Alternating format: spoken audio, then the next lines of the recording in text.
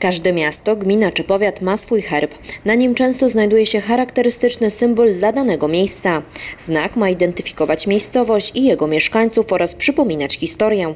W Działdowie poszli o krok dalej. Miasto ma już swój hejnał. Teraz przyszedł czas na hymn. W ubiegłych latach poczyniono w tym kierunku pierwsze kroki, ale nic z tego nie wyszło. Dlatego ponownie został ogłoszony konkurs. do wszystkich mieszkańców, którym bliska jest tradycja, kultura, historia e, działdowa e, i jednocześnie jego piękno, i, którzy potrafią to piękno wyrazić e, słowami e, oraz muzyką. Jest też wiele e, działdowian, którzy wyjechali z tych terenów. Wiadomo, że dla nas, dla działdowian, e, nasze miasto jest e, najważniejsze. E, Jesteśmy związani z ich z jego historią e, i tradycją, ale oczywiście jeżeli trafi się osoba, która nie jest związana z naszym miastem, a praca będzie e, zasługiwała na wyróżnienie e, komisji konkursowej, to taka praca wygra.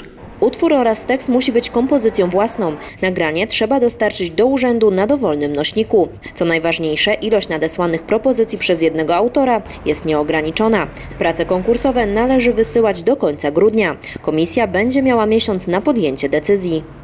Konkurs został ogłoszony 13 e, września, czyli w ubiegły piątek, także jeszcze musimy dać sobie czas. Przewidziana jest nagroda rzeczowa w wysokości do 1000 zł. W samym Działdowie nie brakuje osób zajmujących się poezją. Z pewnością do konkursu staną lokalni artyści. W końcu to oni najlepiej znają historię tego miasta. Po nowym roku dowiemy się, czy ktoś podjął wyzwanie, jakim jest skomponowanie tego utworu.